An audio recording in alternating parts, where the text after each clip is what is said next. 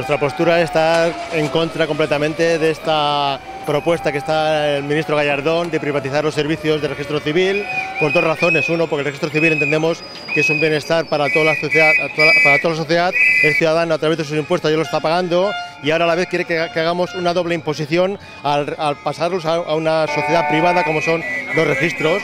y quieren hacer un negocio con, un bienestar que estamos obligados además por ley a hacer, que es registrar todas nuestras movidas en, durante la vida. Cuando nos casamos, cuando tenemos hijos, cuando fallecemos, es una obligación del ciudadano por ley y a la vez nos quieren ahora obligarla a pagar doblemente por los impuestos y por las tasas que nos obliguen a pagar ahora. Menos recortes, más justicia. Menos recortes, más justicia. No hace mucho se hizo una inversión millonaria dentro de, informatizar los servicios para que todo esté al día y actualizado los datos. Pero ¿qué pasa? Que con que los registradores, que es el colegio al cual pertenece eh, Rajoy y muchos de sus familias, pues han dejado de tener ganancias con el tema de, los pisos porque ya no se venden pisos y ahora quieren dar el pastel de los registros civiles, matrimonio, nacimientos, fallecimientos y sobre todo con el tema de los papeles que tienen como los extranjeros para conseguir la residencia en España